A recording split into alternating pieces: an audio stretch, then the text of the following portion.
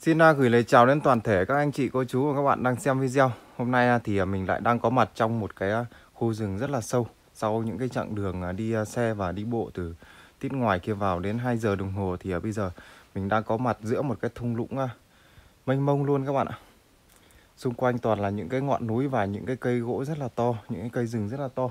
Và hôm nay thì mình sẽ đi sâu vào trong rừng này các bạn này một cái à, khu rừng hoang dã và vắng vẻ, không có một tiếng người gì luôn. Thì hôm nay anh em mình sẽ đi sâu vào trong này để tìm một vài cái ngọn núi à, đẹp để à, leo lên tầm lan. Mời các bạn cùng theo dõi cái hành trình của mình nhé. Xung quanh cái khu vực mình đang đứng là một cái thung lũng. Bên dưới này là một cái thung lũng rất là rộng các bạn ạ. Kéo dài đến tận tít cái dãy núi bên kia. Và toàn là những cây gỗ rất là lớn. Đây có những cái cây cổ thụ ở giữa rừng già luôn mình đang đi theo một cái lối mòn ở đây các bạn nhé. Ở đây có một cái lối mòn để đi sâu vào trong rừng. Và sâu đến đâu thì mình cũng không biết, nhưng mà mình sẽ đi theo cái con đường này, vào đến một cái ngọn núi nào cảm thấy đẹp thì mình sẽ leo lên để tầm lan các bạn nhé. Con đường thì chắc cũng rất là lâu rồi, không có người đi lại. Một vài đoạn thì nó cũng đã trở nên rậm rạp rồi các bạn ạ.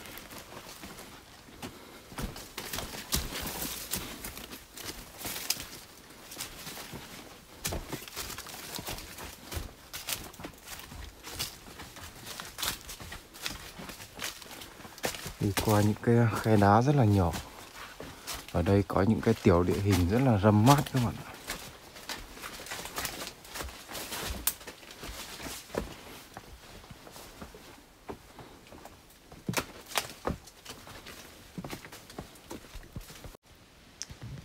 Các bạn ơi, mệt lắm. Leo lên à, đèo mãi đi mãi vào trong à, sâu trong cái thung lũng ở đây và bây giờ mình đang đi lên trên núi các bạn ạ. Lên trên này được cả lưng chừng núi rồi thì đến cái khu vực này cuối cùng mình lại gặp được cái loài lan hải hương. Lan hải hương này các bạn ơi những cái cây lan hải hương mọc ở trên đá này ở đây có đến gần chục cây. Vách đá này phải nói là nhiều. Khu vực này mà có đến khoảng chục cây trên một cái vị trí là nói chung là cái đây là một cái khu vực à, điển hình là có cái tiểu địa hình tốt cho nên nó mới có sự uh, phân bố xuất hiện nhiều cái cây hài hương như vậy những cây hải hương sống ở trên đá kìa các bạn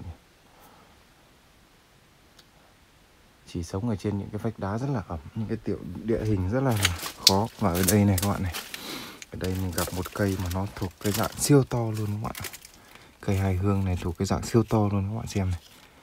Cái lá còn có lá kẻ này các bạn này. Cây này to lắm, có một cái lá kẻ đây các bạn này.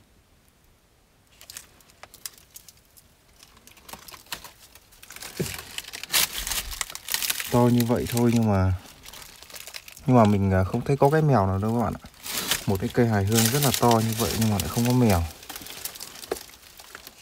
Đây là một cái, có một cái lá kẻ duy nhất.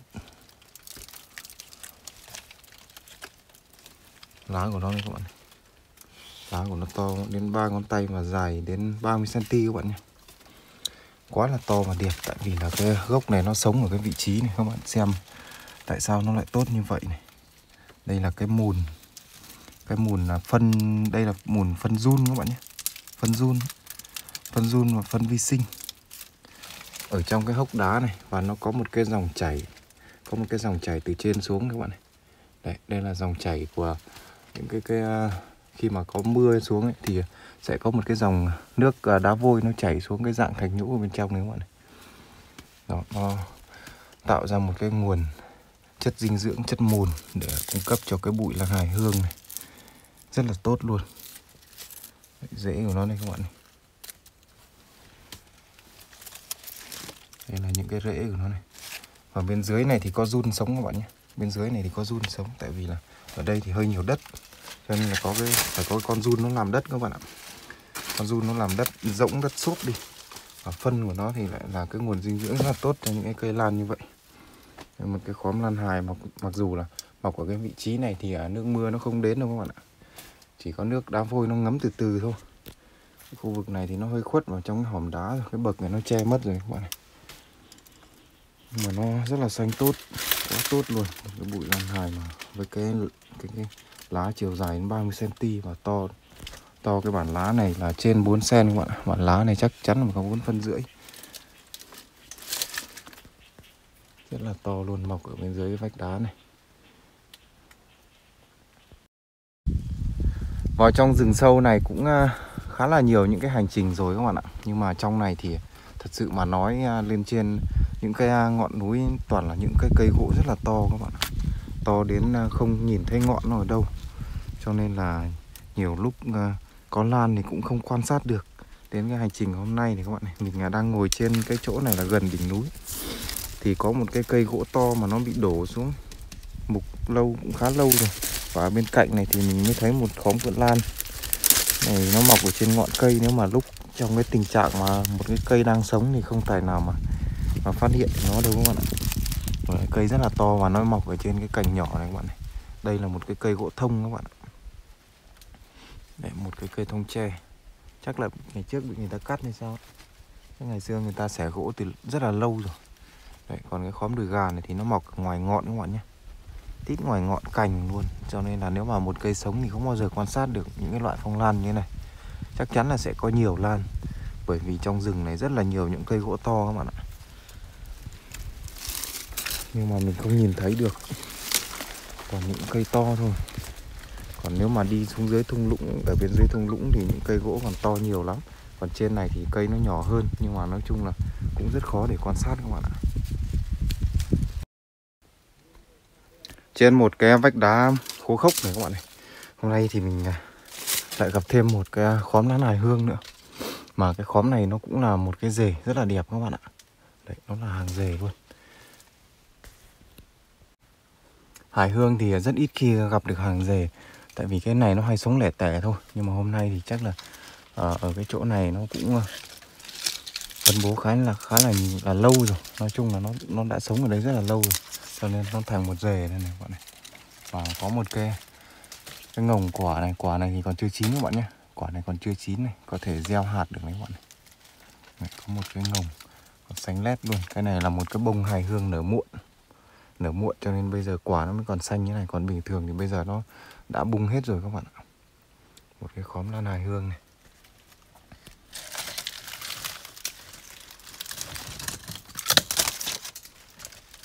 Lá rất là to. Mọc ở trên cái vách đá này nó cũng khô nữa. Nó khô cho nên là, là lá của nó không dài. Lá của nó có vẻ cứng cáp hơn các bạn ở đây chắc là nguồn dinh dưỡng của nó cũng bị hạn chế. Vách này thì chỉ có mùn rêu thôi và cũng chỉ có duy nhất một khóm ở đây thôi các bạn trên này thì à, khô lắm. Trên này thì chắc chắn là sẽ không à, hải hương sẽ không thể sống được. Trên cao những cái khu vực khô khốc ấy thì chỉ có hải len với hải gấm thôi thì nó có thể ờ, chịu được. Còn hài hương này thì nó không chịu được nắng đâu các bạn ạ. Nắng thì nó sẽ yếu. Nếu mà cây nào mà ở vị trí nào mà nó có nhiều giá thể nhiều mùn ấy, có nguồn nước có nguồn nước đá thâm thủy nó chảy ấy, thì nó vẫn sẽ sống và lá nó sẽ nhỏ hơn. Lá của nó sẽ có màu vàng và nhỏ hơn các bạn nhé. Còn trong râm thì lá nó sẽ có một cái màu xanh rất là bóng mình cho các bạn thấy đây là một cái dây leo này các bạn này. Mình đang đi qua một cái thung lũng để đến với cái ngọn núi khác và mình đi qua một cái dây leo này. một cái dây leo khổng lồ các bạn ạ. To lắm. Đường kính của nó này. Quả nó treo mãi lên trên kia các bạn ạ. Treo mãi lên trên ngọn cây ấy. một cái dây leo khổng lồ chỉ có vào trong rừng sâu thì mới gặp được thôi các bạn ơi.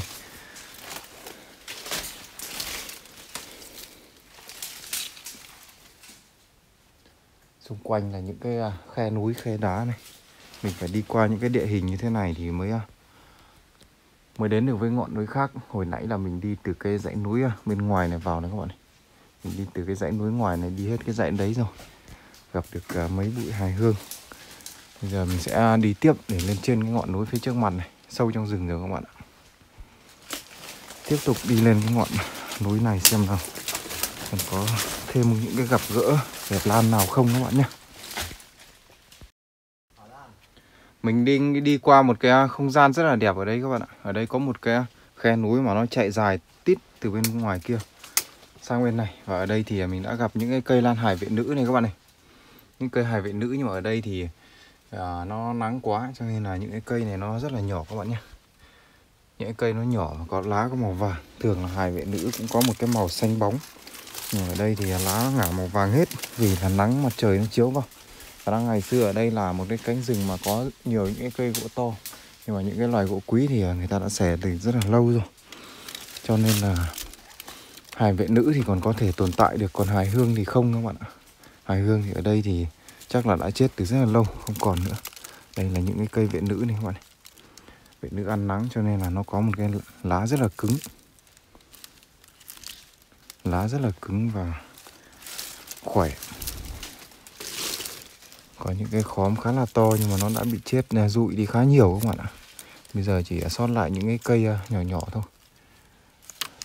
Những cái khóm như bên cạnh kia là ngày trước nó là những cái khóm cực kỳ to và bộ lá của nó ít cũng phải dài trên 20 cm nhưng mà bây giờ thì lá của nó rất là cứng.